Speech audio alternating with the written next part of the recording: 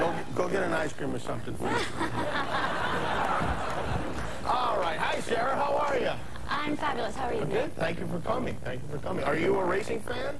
You know what I am, and I've got to tell you, I'm. Uh, I went to college in Virginia, Oh. and it's a big, big, big deal. Oh, yeah. And rightly so. I think it's fabulous. And you know, I told my friends I was coming on, and you were going to be on. Everybody said I have to give an autograph and a picture, so it's an honor to share the stage. Do you like hidden camera pranks?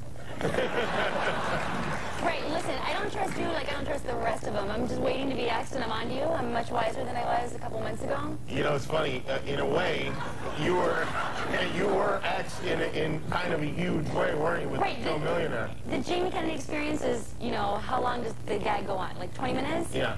Imagine a month. A full month. I think you're gonna get with Evan.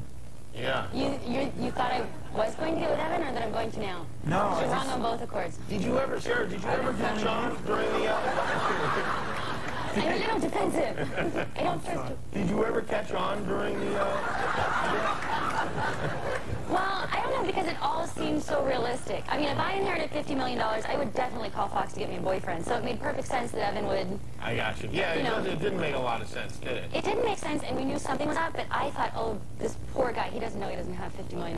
Yeah. I thought the joke was on him. Oh, really? You know, really, Melissa Well, and I had figured it out. out. he didn't have $50 million?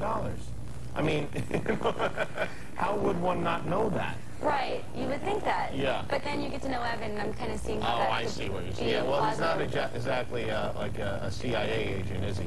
Right, I think you could. I think that you would have a fabulous time with Evan. You got to get him on the show. he would fall off anything. Really? So you did not care for Evan?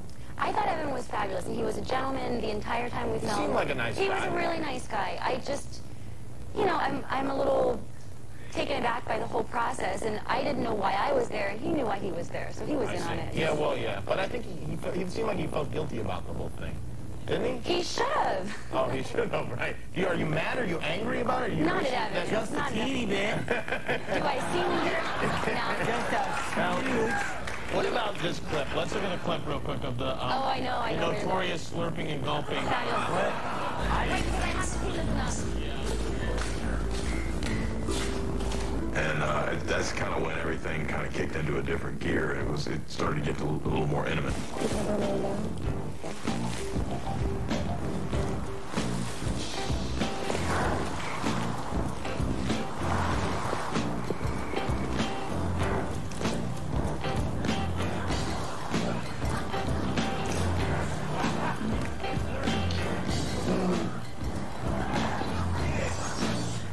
Golf. Dude, Do I, do I have to go here again? I've, I've you know, Well, no, she I who mean, doth protest what much. was going on? I- I- Were you guys making out, or what was happening? No, Was throughout the entire course of the show, I kissed Evan three times. Nothing uh-huh. more happened.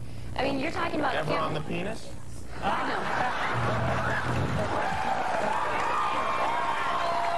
You're, you're on a show where you have to shut the bathroom door in the cameraman's face to be able to take a shower in privacy. Right. That was a setup. Like, you know, nothing happened. If anything was happening, I promise you it would have been on camera. Sarah, you're in France. You're in the boudoir. Right? It's a nice chateau. Evan's a honk. He's like George Clooney on roids. Did you ever at one moment just kind of want to hit it? No, you know. Well, I'll tell you what. Being locked in this chateau with someone for a month, they get cuter as the days roll on. Is that right? However, I What about a trailer? Because Dale's got a beautiful. Yeah. in your pockets, Rubia. Um, you know, actually, I never knew that, that Evan was going to be there. We were kind of not really informed of that. So when I got there, I was shocked, and I thought he was nice. And you know, I, I spent most of my time getting to know the other women there, and I actually had already had a ticket to go to Belgium to see someone that I was interested in. So I was a little So you were hanging with the other girls.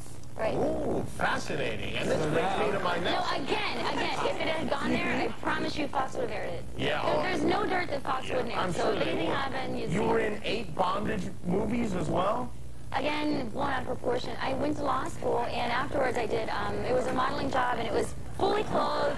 You know, they are the cleanest pornos I've ever seen That's what I mean. It's not, Yeah. you know, I'm telling you. Really disappointing, you- actually. If, if there were any nude pictures of me, aside from what I just did for Playboy, Right. they would have come out. This was so mild, and it just ended up being sensationalized because apparently that was the biggest scandal that they could dig up about anybody Well, let's show. take a look at, and, you at a clip of Sarah from Helpless Heroines, Volume 3.